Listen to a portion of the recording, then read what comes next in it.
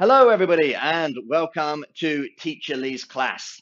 Today we are doing wet paint.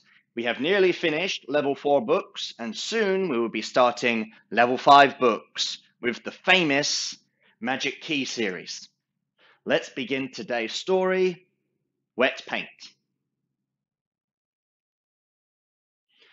Dad was painting the back door. The children were outside.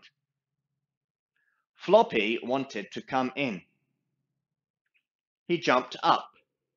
He put his paws on the paint.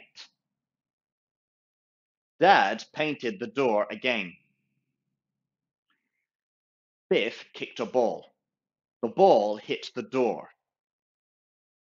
Dad painted the door again. Kipper pushed the door. He got paint on his hands. Dad was fed up. He painted the door again. What a job, said Dad. Biff and Chip had a pillow fight. The pillow split open. Oh no, said Biff. The wind blew. It blew the feathers.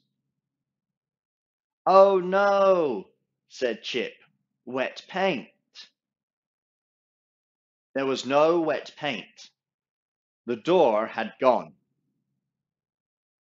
Dad had put up an old door.